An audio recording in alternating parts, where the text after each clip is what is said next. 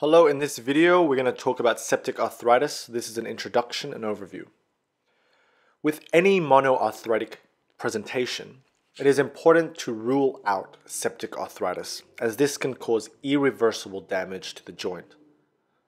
Signs and symptoms of septic arthritis include fever, monoarthritis, which means one inflamed joint. Inflammation of the joint is characterized by warmth, redness, erythema, pain, and decreased in function or range of movement. The person presenting with an inflamed joint requires a thorough history and examination. For septic arthritis, the main causative agents include Staphylococcus aureus, group A streptococcus, and Neisseria gonorrhea, which is a sexual transmitted bacteria. A quick recap of the pathogenesis of septic arthritis. Here is an inflamed joint. A skin infection, such as that from Staphylococcus aureus, can disseminate into the joint causing septic arthritis. Osteomyelitis, which is inflammation infection of the bone marrow, usually caused by Staphylococcus aureus, again, can locally invade the joint causing septic arthritis. Upper respiratory tract infections or lower respiratory tract infections from group A streptococcus can hematogenously go to the bone causing osteomyelitis which then can lead to septic arthritis. Alternatively, there can also be an STI from Neisseria gonorrhea that can disseminate into the joint causing septic arthritis.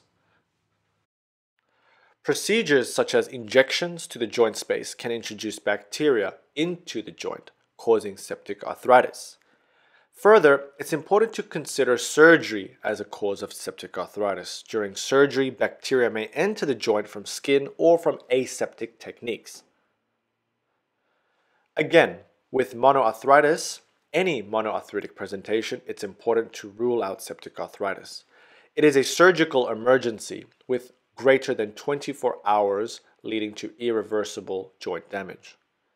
Investigations to be performed in a person presenting with monoarthritis include a full blood count, C-reactive protein, ESR to check for signs of inflammation and infection. A joint aspiration is usually indicated for any for a monoarthritic presentation. The joint aspiration will also need to be cultured microscopy, culture, and sensitivity. It's important to also do blood cultures if you suspect systemic infections or bacteremia. Also perform electrolyte urea creatinine and glucose. Finally, imaging including ultrasound and x-ray can also be done. X-ray may reveal subluxation or dislocation of the joint, and there is joint space widening because of the swelling and inflammation occurring within the joint itself. After performing the investigations, notably cultures and joint aspiration, administration of broad spectrum antibiotics is priority. Then, surgical emergency is needed involving joint drainage, usually joint aspiration, arthroscopic drainage, or open drainage. Once cultures have come back and results are obtained, from the joint aspiration or blood cultures, antibiotics can be tailored towards the causative agent. These antibiotics are given typically two weeks with IV, then changing to oral antibiotics for four weeks. Follow up and monitoring is also important throughout this whole time.